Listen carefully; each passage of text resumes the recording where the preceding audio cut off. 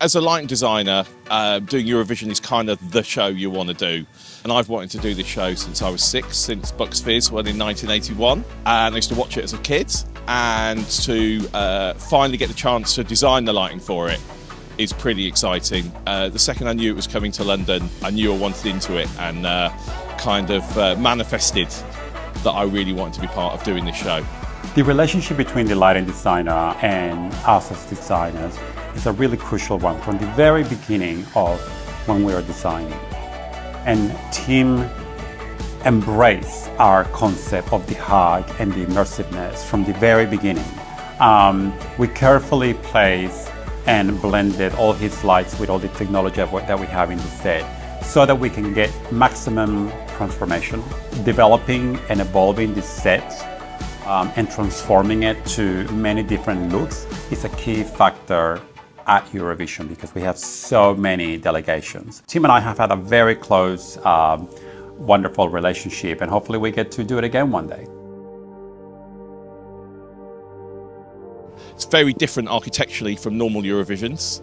Um, it's really hard set to light. A, a three-sided box, effectively, even though the side arms are curved. You know, the set encompasses the set, so it's really tricky to be able to light around. And with those tracking doors, so those screens that move at pace, that revolve and track them down up and down stage, they really are. Um, they take up a lot of roof space overhead on the stage, all the mechanisms to make all of that work but it really did stand out visually as a, as a look. And the, the, the, four curved arms gives me a really cool architectural position for lighting beams.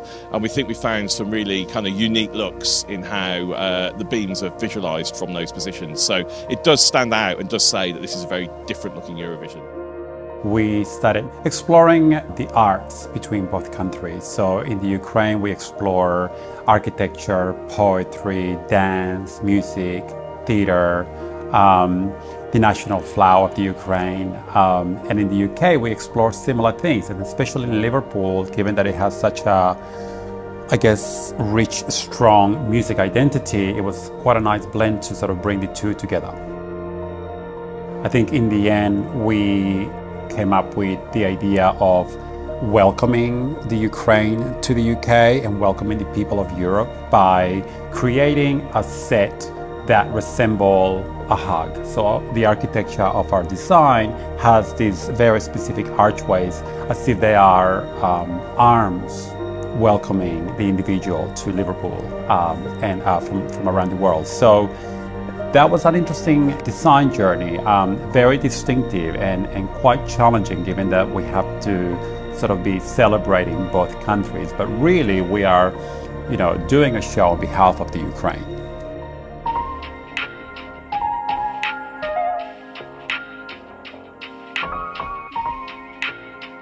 I'm Damo, Damien Jackson from Neg Earth, and I'm the uh, project manager uh, covering all the lighting requirements for Eurovision. Here we are in Liverpool where we have the, the rig in finally uh, after uh, a good couple of weeks of, uh, of, of loading and, and, then, and then into, into rehearsals now. So we are approximately 2,000 fixtures uh, across the rig um, all, all throughout the arena. Um, we will be hundreds um, of kilometres of truss and thousands of kilometres of cable uh, we were 20 trucks of, of uh, full, fully loaded gear coming into the arena. The challenge has been, has been fitting all this in in the time frame that we were given. Um, we were, had to work around all of the departments building their systems at the same time, so it, it led for detailed planning between myself and the, and the gaffer and the lighting team on site. Um, other than that, it's you know the, make, making the network and the patch reliable and standing up for the, the rigours of, um, of, the, of the operators. That's probably been one of the biggest challenges we've, we've had for sure. Tim and I work together quite, quite often, uh, as, he, as he does with Negearth. Um, and from from the start you can tell that Tim's been very uh, very passionate about this project so it's been easy to follow his uh, his, uh, his passion and his excitement Uh, it's been really good. We've worked together for quite a number of months, um, honing down the spec, making sure uh, what he, uh, making sure he got the lamps that he, he wanted to make the show work, but also kind of worked in a in a budget friendly uh, position. Even with Eurovision, we have, we have budgets, yeah. So um, it, it, was good. I I, I'm, I'm happy that Tim has got a good balance of of uh, kind of key highlighted uh, fixtures and, and also kind of workhorses that, that can that are more budget friendly that, that fill the fill the black spots. I think the way the lights are integrated around around the set is, is, is really really clever. There's a few areas in particular that uh, I, I, quite like. The the revolving doors.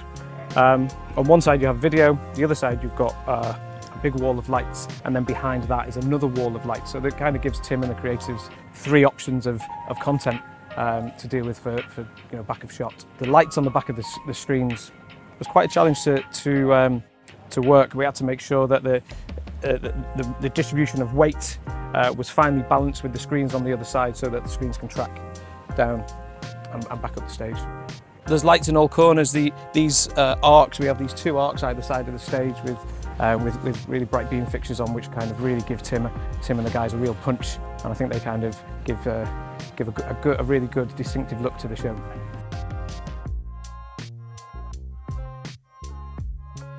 These lights that you can see sweeping up into the audience were uh, are the arcs, um, uh, the fixtures on the arcs, which are the Claypaky Sharpy X frames.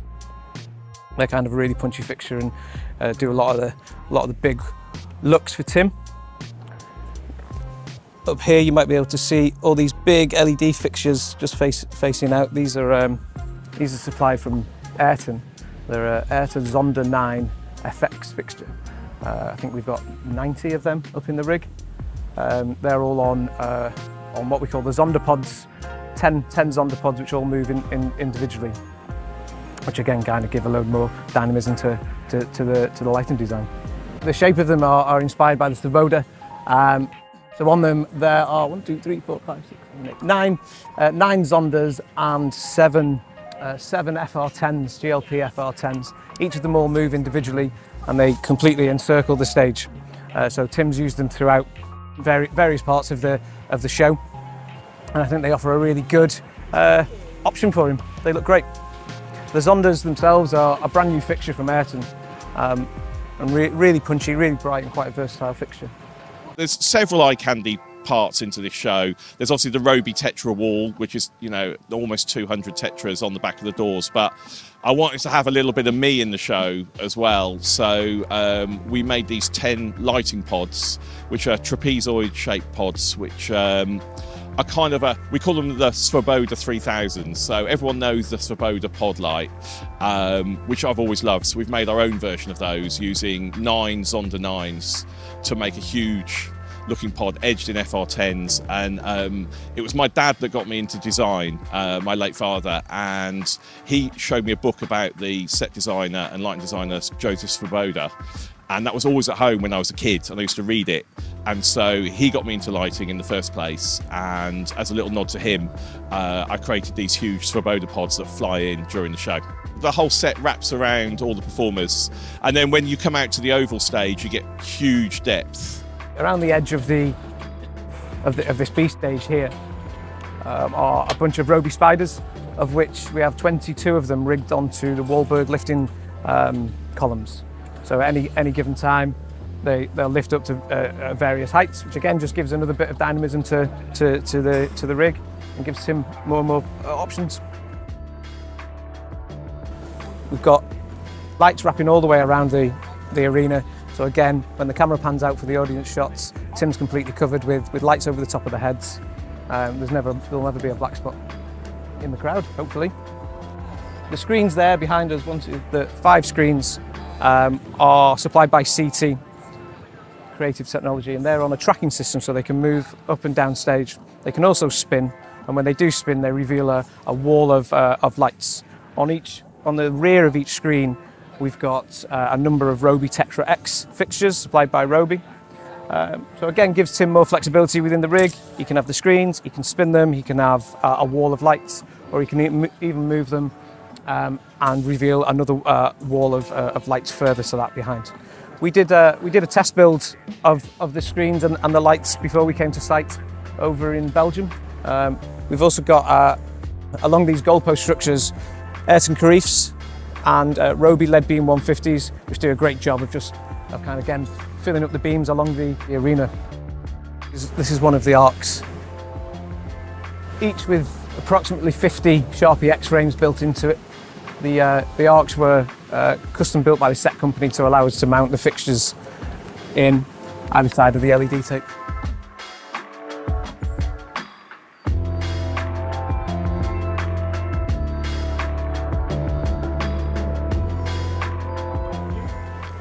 So here we are on stage, and this is the the wall of Roby Tetra X's I was just explaining, which live on the, the rear side of the, the LED screens. So there's five separate walls of these which which can spin. So when the screen, when the columns spin, they can reveal reveal the lights. Um, and also when they open up, we have another wall of lights here, uh, clad with Martin Sceptron and uh, Robe Pointes. Uh, the Pointes do a really good job of cutting through and giving giving Tim a real big, beamy look from from upstage. Um,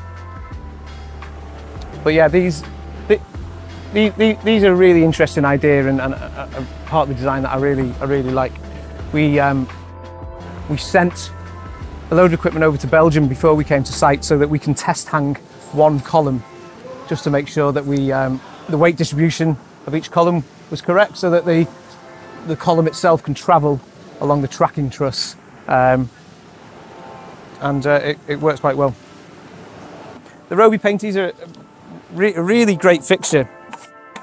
Um, yeah, you'll you, you'll, you'll see various times just when even when the doors are uh, the, the, the, the, doors are closed like this, you can see them punching through, and I think they I think they really do a good job. Yeah.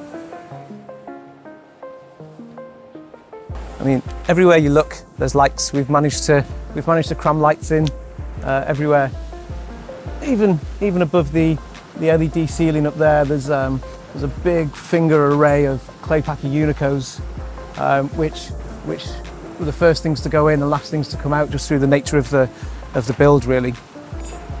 Um, but yeah, I mean, we've managed to get lights everywhere. That's Eurovision. That's Eurovision, yeah. Here we are on the stage, gives you a good idea of the of the, of the scale of the setup. This is kind of the, the main stage system, as we say, in between the ovals. You can get a clearer, clearer view of these, these Zonda pods now. Like I say, each clad with the, with the FR10s and the Zonda 9 FX. We have strobes hidden everywhere. Um, we have almost 90, I think it is, Cobra, Ayrton Cobras around the room for beamwork that kind of edge around the um, oval stage. And actually on the oval stage itself, we have 12 Claypaky reflections, which the Cobras light into and bounce off, which we're using on some of the interval performances, as opposed to the delegations. Um, there's Martin Air Effects is lighting all the audience. There's Claypaky B-EYEs on the audience, Martin PXLs. Um, and then the whole key light system, which is the most important thing to me, is the Robe Forte product, which is the best key light product on the market uh, as a hard source for this scale. Uh, has a beautiful tint channel to be able to dial out green or magenta separately to the colour mixing system. It's a high CRI, and we're using those as the key lights as well as the follow spots. So the follow spots and the fixed keys all match together on the Robe follow spot system. We are stage left at a distro, uh, one of the distro positions, one of the many distro positions we've got. Um, this is uh, some of some of the MPUs we we have so there was a, a requirement from the programmers uh, that the, the network system was uh, capable of, of, uh, of, a 10 gigabit speed.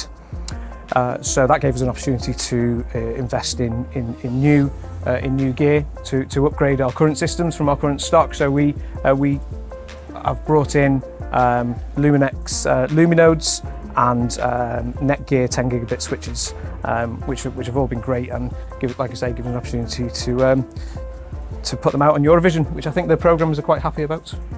Managing the, the, the requirements of the network has been quite a challenge for us, uh, or, or, one, of, one of the challenges for us. Uh, given again, just given the scale of it and, and, and, and the amount of uh, the amount of units and, and, and data distribution needed to to control the network, it's required a lot of a lot of planning, a lot of discussion to design and develop a, a real secure um, uh, network system the whole upstage section of the show is pretty much exclusively all uh, Robe, as it's turned out. So we have a upstage wall of Pointes, which don't, which are brilliant because they're really bright. They don't have to fight against video because they're when the video is turned away. So they're far upstage. So we have a whole grid of those. Um, and on the back of the walls, we have the Robe Tetra X's, which gives us a whole load of different looks big, pixelated walls of light um, tight beam work, and then the flower. The lighting just about fits within the weight loading of those doors. And we have two Sharpy X frames mounted on the bottom to give us some back beams as well as those doors revolve. Um, and you know, using MA3 with their the really clever grid system with MA3, Tom Young, uh, our main programmer, has been creating insane kind of content across those those walls without having to use a media server. We're not pixel mapping them, we're driving them via programming and it gets it more beat perfect. And uh, using MA3, we've managed to create some amazing programming with those. I'm the lighting programmer for this year's Eurovision here in Liverpool. There are three of us uh, in the programming team, as is myself, uh, colleague Alex Mildenhall, who is uh, also doing the moving lights, the effects lighting with me, and then Marc Nicholson, who's doing the key lighting over the other side. It's unlike anything else, just um, in terms of the uh, amount involved and the speed at which it runs. Uh, when, when we start the uh, start the show, there's no getting off the train. It's uh, it's heading straight towards the station. It's great to be a part of, you know, and great to be a part of such a great team as well. So we started back in London. We did uh, about three weeks of previs work um, at Neg through a supplier, um, where we programmed all of the delegations. Um, then when we came to Liverpool, we uh, carried on in previs in a room here, and we worked on all the show elements. And then uh, once we'd finished that, we were ready to transfer across to the real world. So we had about three days of uh, a bit more programming and focusing. Uh, so we carried on doing previs when we got here uh, for the show stuff. Uh, and then after three days of programming and focusing, we transferred across to the real world.